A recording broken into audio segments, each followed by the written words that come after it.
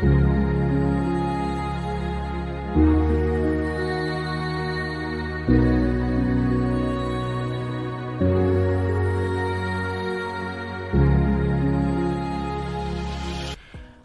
People's Church. My name is Jean Benet. Hi, People's Church. My name is Carol, and I also lead praise and worship at Cornerstone. Hi, my name is Xavier Chisina, and I'm one of the song leaders here at Cornerstone Church. People's Church, very, very soon, we'll be joining with your wonderful worship team, ushering you into the very presence of God.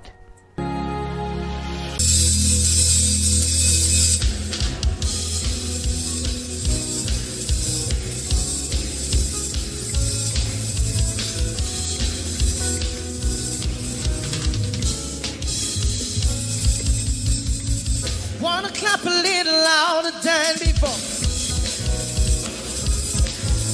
I wanna sing a little louder than before. Oh, I wanna jump higher than before. I wanna shout a little louder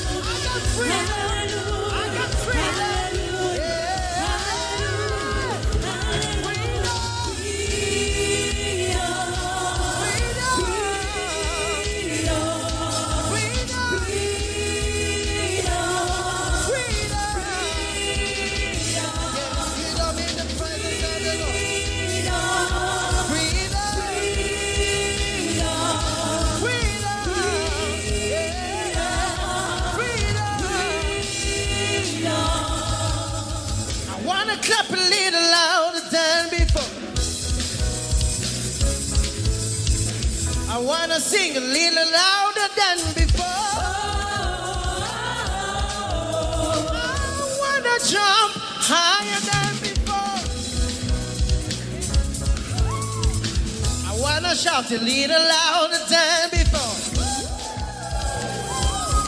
Come on.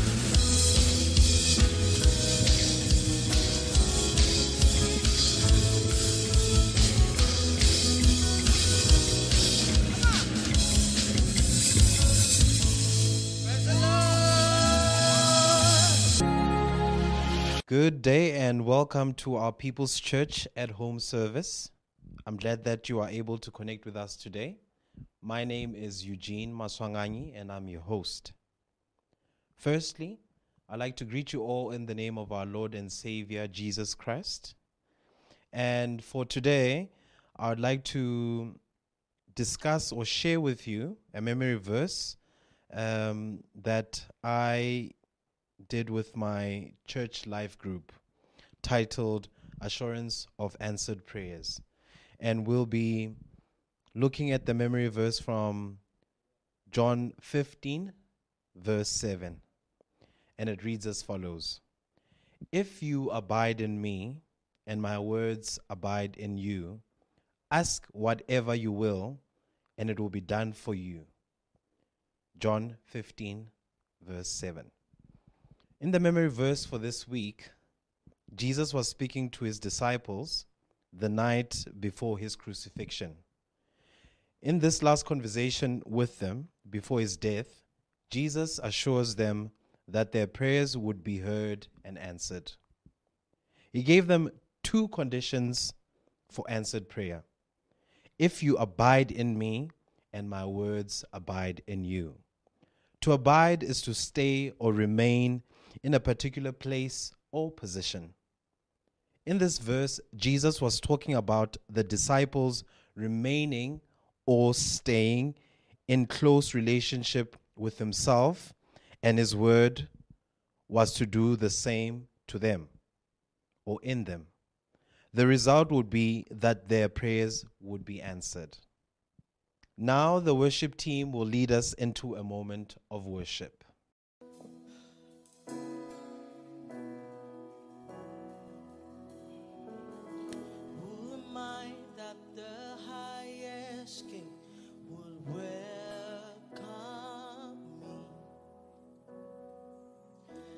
Was lost, but he brought me. His love for me. Yes, his love for me. Will the sun set free? Oh, always free indeed. I'm a child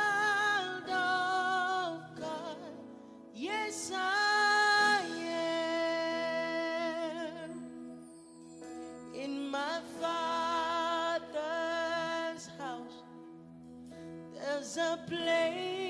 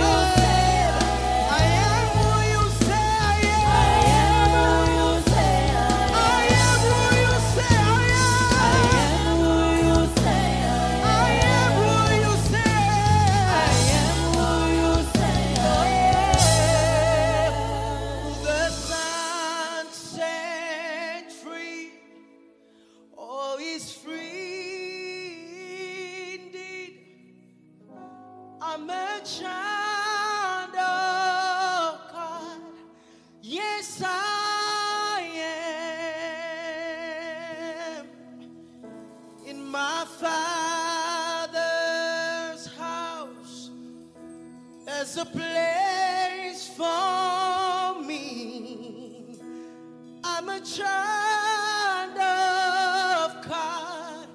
Yes, I am. We greet you in the name of Jesus. We have yet another opportunity to be participants in the work of God by giving into the kingdom, by supporting the work. We've got a lot of exciting things happening in People's Church. We have a lot of things which are planned, and we are going to need your support. We're going to need you to come along to support the work. And remember, when you support the work, you support yourself because the church becomes strong, your family becomes strong, you become strong. You know, the Bible says we brought nothing into this world and we can take nothing with us when we go. That's what the Bible says in the book of First Timothy, uh, chapter 6, verse 7. So let's give into the kingdom. Let's, let's be generous. Let's support the work. Let's send out missionaries. Let's establish churches. Let's see the church growing in, in numbers and also in quality because we are participants. Uh, Paul said several times to different congregations that uh, how will they go if nobody sends them? So, how will the work be done if we don't support those who are called to do the work? Come along and support us by giving to People's Church, to give into this ministry, and may God bless you. Hi there, I'm Debbie, and today I am your newsreader. We'd like to thank you for joining our church service today, and we hope that you're enjoying it. Now, looking at what's happening in the life of the church. Good day, church. Christ, our Lord and Savior, led by example. Several times in scriptures, you will read that he went out to pray. So it is also important for us as believers, as his followers, to spend time in prayer. Church, I'm quite excited about our Tuesday morning dawn prayer meetings. I would like to invite you to join us every Tuesday morning between 5 and 6 as we cry out and lift our voices up to our Heavenly Father between 5 and 6 every Tuesday morning. To be able to join us, please contact me on the number that is flashed on the screen now. Contact me on this number so that I can send you the link so that you are able to join us as we pray together every Tuesday morning between 5 and 6. A praying church is a victorious church. You are furthermore reminded of our Wednesday prayers, which take place from 6 p.m. to 7 p.m. And please remember to pre book for physical attendance. Good morning, People's Church. We are happy to announce that Designed Youth Ministry will be back soon. Watch this space for more announcements. And we are going to hit the ground running with a conference hosted by Cornerstone for the Youth. It's called Game Changers. Please watch the video for more information. Thank you. God bless you. Thank you.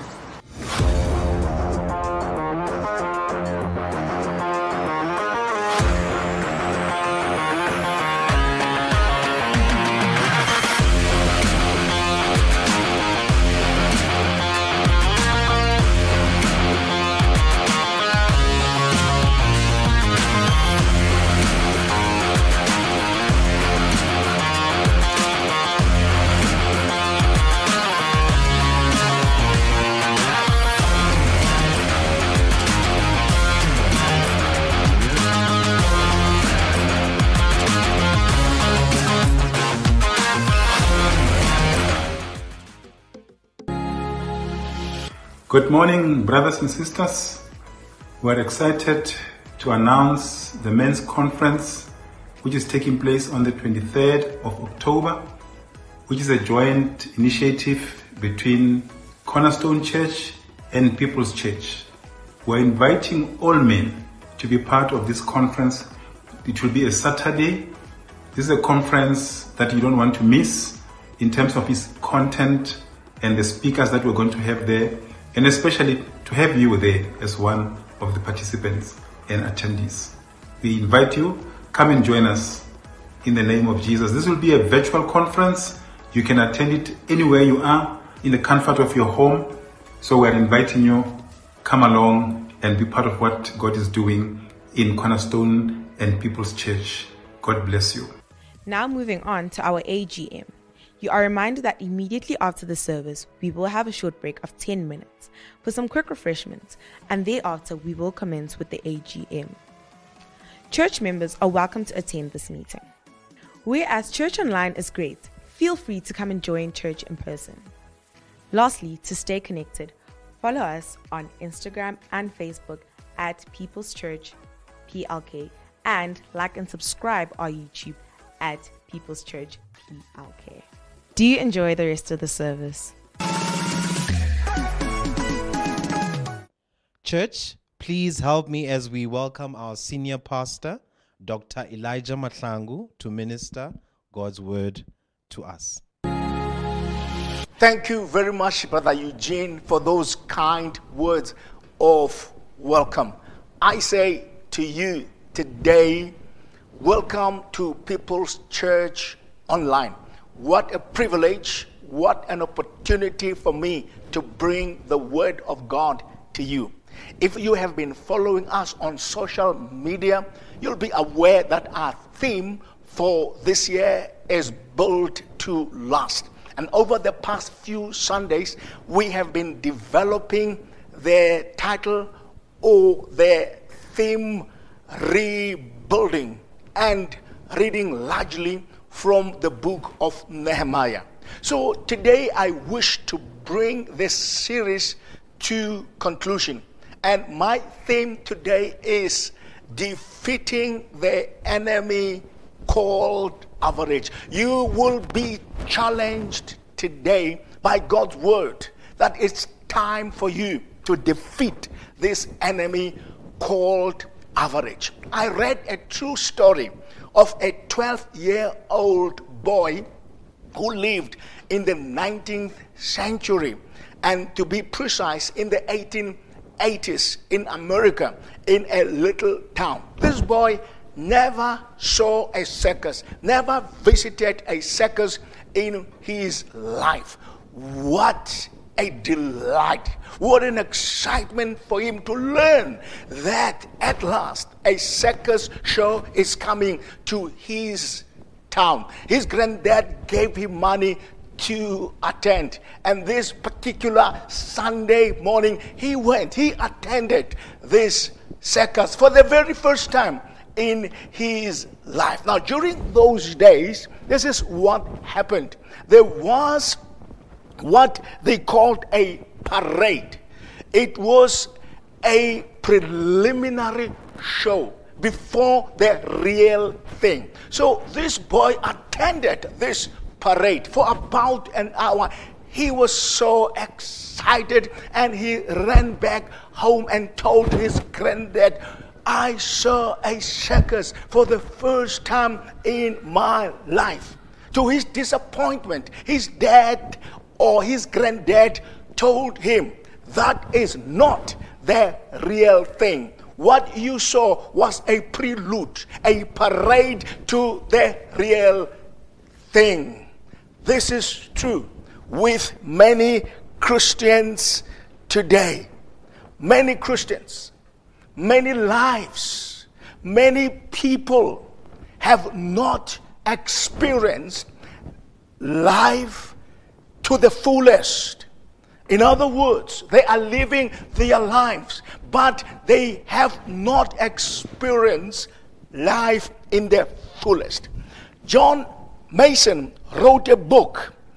The name of the book is An Enemy Called Average. And in his book, he says, This quote People are born as originals, but die as carbon copies of themselves.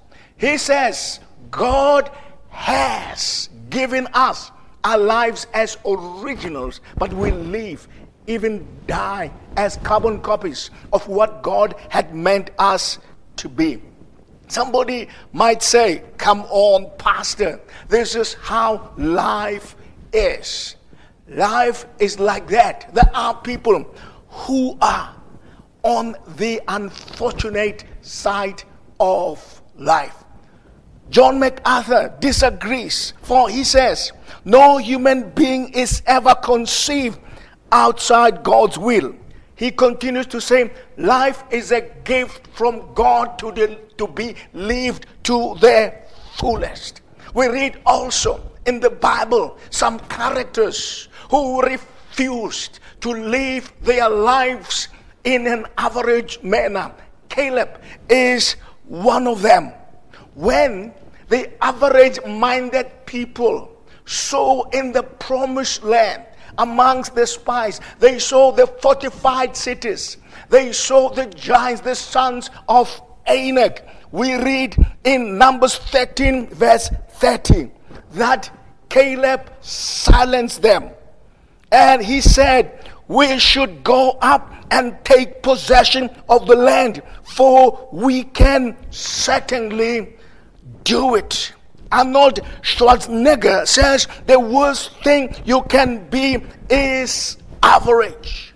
Henry Ford says if you think you can do a thing or you think you cannot, you are right. In other words, the Word of God is encouraging us today that it's God's will, it's God's plan about our lives to live our lives to their fullest. May God help us. Let us defeat this enemy called average. God has not created us like that. We read in Genesis 1 verse 27. So God created mankind in his own image, in his likeness. God created them, male and female. He created them. But when we read in chapter 2, it seems the picture becomes even more clearer of how God has created us.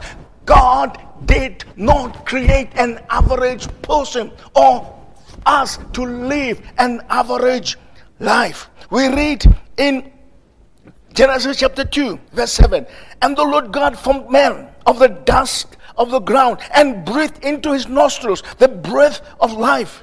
And man became a living being. Other versions are saying a living soul.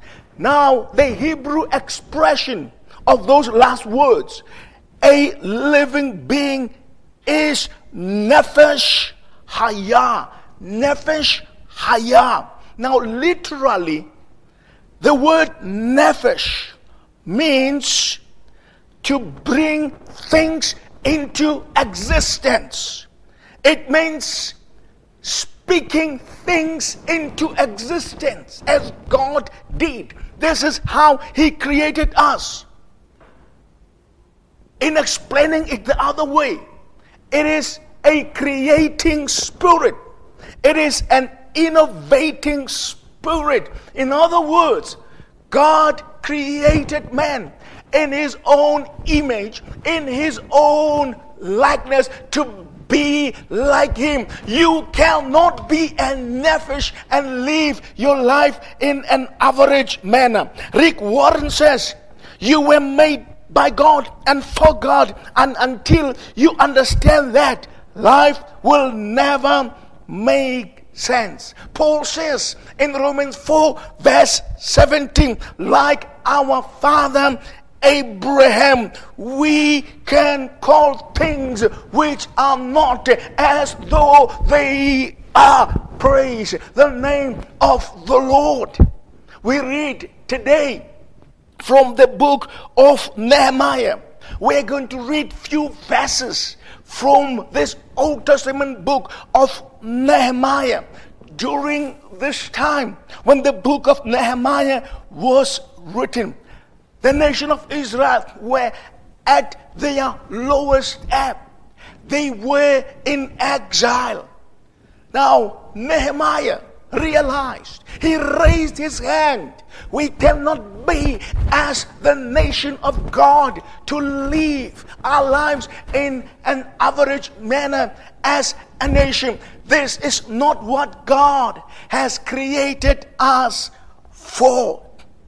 We, Nehemiah thought, we were born, we were created by God for a purpose to be a witness to the world.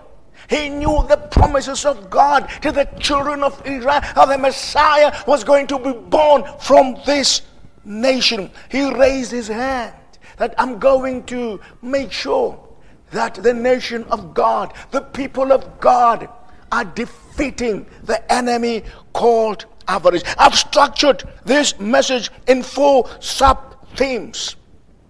The first sub theme is Nehemiah for him to succeed in contributing to the nation of Israel to defeat the enemy called average. He was passionate in prayer. The second sub point is that Nehemiah prayed and this led to possibilities and opportunities for purpose. The third sub point is that in this quest to change the fortune of the children of God, the children of Israel, to defeat the enemy called average, he needed some resources, provision.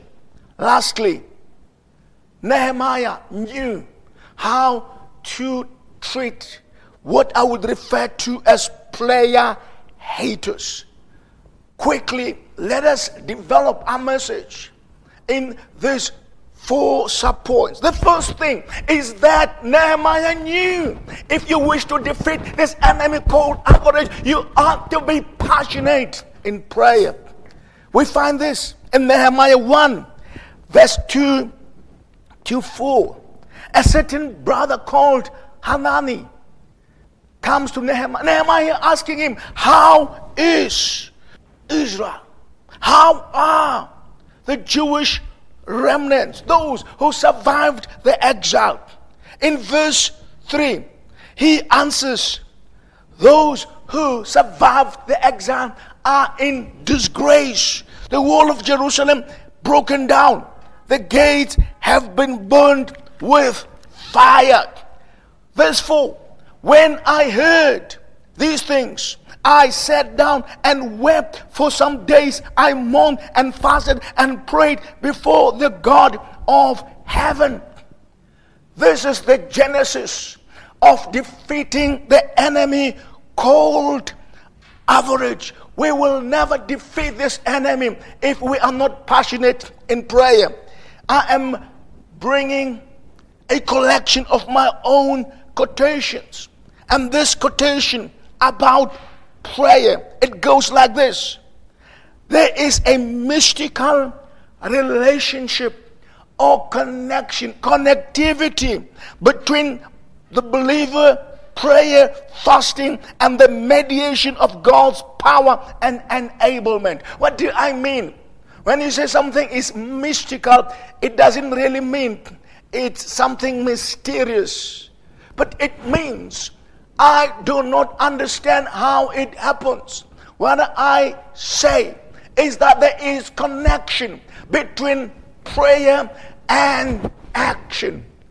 When I pray, even if I do not understand, but there is connection between my prayer and what is taking place. Last Sunday, Mrs. Macquarella read from Exodus 17, verse 12. The children of Israel are fighting against the Amalekites. They are fighting, and Joshua is leading them. And as long as Moses was praying for the battle, the children of Israel were winning. But when he got tired, lowered his guard, lowered his hands, Joshua and Hur came and lifted the hands. When the hands were lowered, they were losing. When the hands were lifted, they were winning their battle. Nehemiah knew in order for us to defeat this enemy called average, we should pray passionately. Andrew Murray says, we must begin to believe that God, in the mystery of prayer, has entrusted us with a force that can move the heavenly world and can bring its power down on earth. Woodrow Kroll says, fervent prayers produce phenomenal results. So that's the first step to defeat the enemy called average church. We ought to be praying. We ought to regard prayer not as a program of the church, but as a lifestyle. Number two, possibilities, opportunities for purpose. As we are praying, as Nehemiah was praying to defeat the enemy called average, God opens doors of possibilities and opportunities. We read this in chapter 2, verse 4 to 6. It's in a banquet. And the king sees that Nehemiah is somehow upset. And he asks him, What is the matter? And in his response, God opens doors for him to go and make a difference in Israel. We read in verse 6. Then the king, with the queen sitting beside him, asked him, How long will the journey take and when will you get back? It pleased the king to send me. So I set a time. God opens doors of opportunity to fight the enemy called average. I got this quote from spiritual inspiration dot quotes. When God sees you doing your part, developing what He has given you, then He will do His part, opening doors which no one will shut, and closing doors no one will open. Brothers and sisters, as we passionately pray to defeat the enemy called average, God opens doors for us. We read also in Daniel chapter 10. Daniel was not satisfied about the process of the Israelites going back to rebuild their city, their walls, and the temple. He set himself to pray. And as he was praying for 21 days, an angel came to bring the answer to him. And this angel tells Daniel in verse 12 Do not fear, Daniel, for from the first day that you set your heart to understand and to humble yourself before your God, your words were heard, and I have come because of your words. God opened doors. Now, when we read in chapter 11, we have the full story of God opening doors for more exiles to go back. God will open doors for us. God will create opportunities for us to defeat the enemy called avarice. The third point provision and resources in his quest to fight the enemy called average. Nehemiah needed opportunities, but also he needed resources, provision. We find this in chapter 2, verse 7 to 9. Furthermore, I said to the king, If it pleases the king, let letters be given to me for the governors of the region beyond the river, that they must permit me to pass through till I come to Judah. And a letter to Asaph, the keeper of the king's forest, that he must give me timber to make beams for the gates of the citadel, which pertains to the temple, for the city wall, and for the house that I will occupy. And the king granted them to me according to the good hand of God upon me. Verse 9 Then I went to the governors in the region beyond the river and gave them the king's letters. Now the king had sent captains of the army and horsemen with me. When we set ourselves to fight the enemy called average, God will provide. He provided letters. It wouldn't be easy for Nehemiah to go through certain regions. So the king in Persia gave him letters. Not only that, he was granted resources, timber, wood to go and rebuild the temple of the Lord. But also, the king granted him some army, horsemen, to protect him against some hostile people, some hostile kings. God will provide. God will give us resources when we set ourselves to fight, to defeat the enemy called average. Joel Osteen says God knows the dreams and desires of your heart. In fact, He gave them to you. He will order your steps and take you where you need to be. Shout the name of the Lord. When we passionately, passionately pray, God opens doors, possibilities. But God gives resources. Brethren, brothers and sisters, my last point is entitled Player Haters or put the other way around, Destructors. There are people I want to call player haters. They are not playing the game. They are not fighting the enemy called average, but they are there to distract us. They are there to discourage us in what we are doing. In other words, they are opposing the work of the Lord. Here is the equation opportunity plus opposition equals to God's will. Now, people do not hate you, people do not criticize you, people do not scandalize you for doing bad things. But sometimes when we are doing great things for God, people do behave like that, this will happen. Now, in Nehemiah chapter 2, verse 10, when Sanballat, the Horonite, and Tobiah, the Ammonite, official head of it, in other words, they heard that Nehemiah and his group of people have come to defeat the enemy called average, to rebuild the wall, to rebuild their city and the temple. They were deeply disturbed that a man had come to seek the well being of the children of Israel. There you are.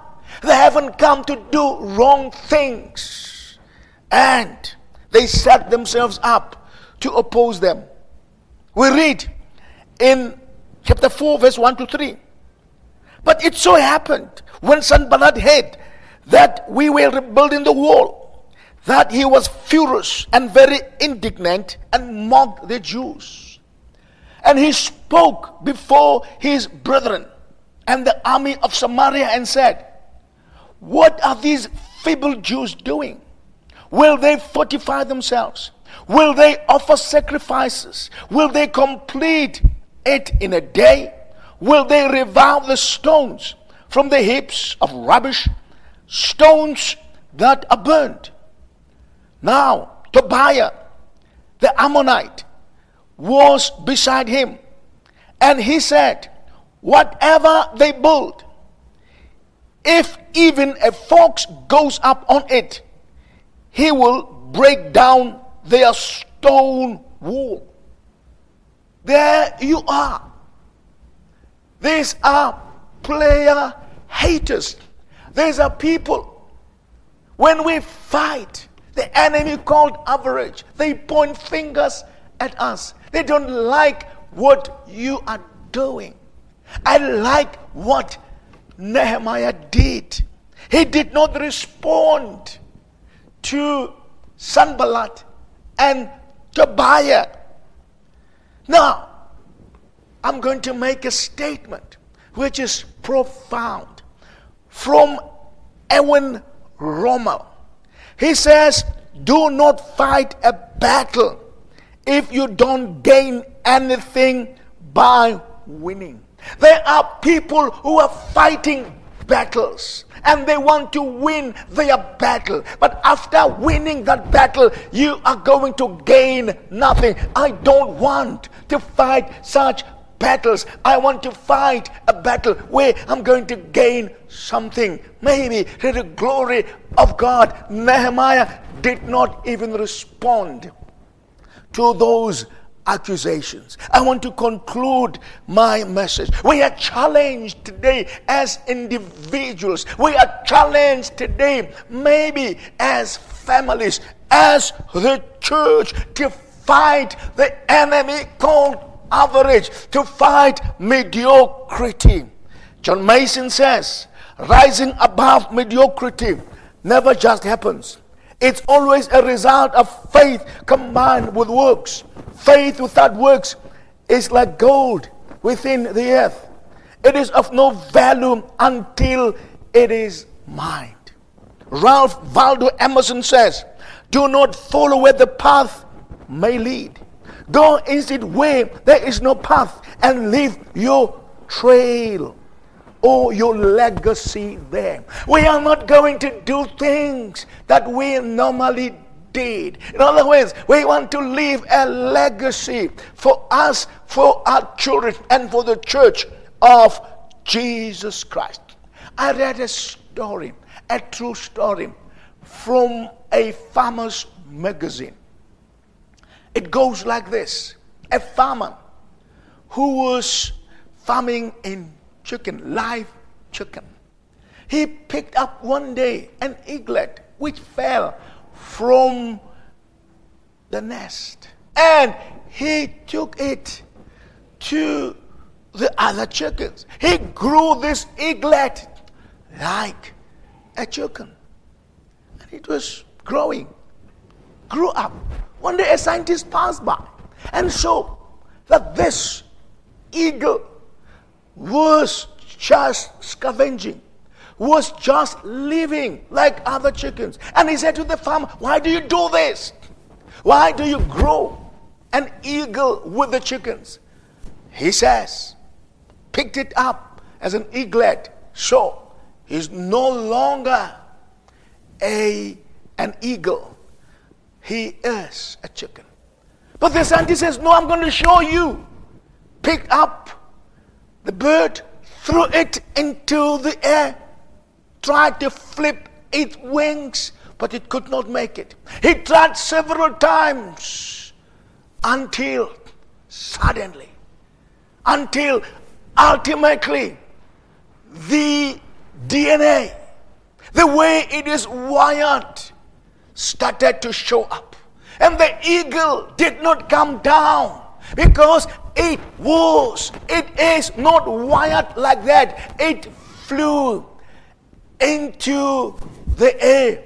And the scientist says, I told you, he is not a chicken, he is an eagle. Brothers and sisters, we are wired differently. We were not wired to live lives that are average, to live our lives in mediocrity. Even if maybe you find yourself scavenging and walking with chickens, I want to tell you today, you were not wired like that. You are an eagle. Isaiah says, in Isaiah 40, verse 31 They that wait upon the Lord shall renew their strength. They shall mount high as eagles. They shall run and not be weary. They shall walk and not faint. Church, um, we are going to make it. Um, we were wired um, not to be chickens, not to be average, not to be mediocre. May God richly bless you as we pray and as God opens doors, as God gives us resources, as we ignore those who oppose us and continue with God's work that He has entrusted upon us. May God richly bless you. Are you not excited? I'm excited over you. Thank God for the reading. Thank God for, for the preaching of His word, defeating the enemy called average.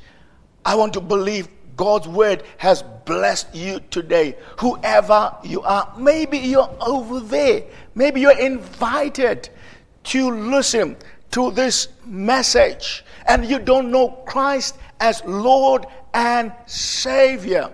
I pray today that you take a step of faith. Jesus Christ is our Savior. It's not about religion, it's not about church, but it's by, it has to do about your encounter with Him. Pray this prayer very short with me. Lord Jesus, I pray today. I come to you just as I am. I cannot save myself. Today, I open my heart, I open my life. Come into my life and give me a new beginning. I pray in Jesus' name. A number is flashed on the screen. Please do contact us, do speak to us, and we will make sure that we help you further. God richly bless you. Maybe you're a child of God. You have been living your life in an average manner. God help you to defeat, to fight this enemy called average. Amen.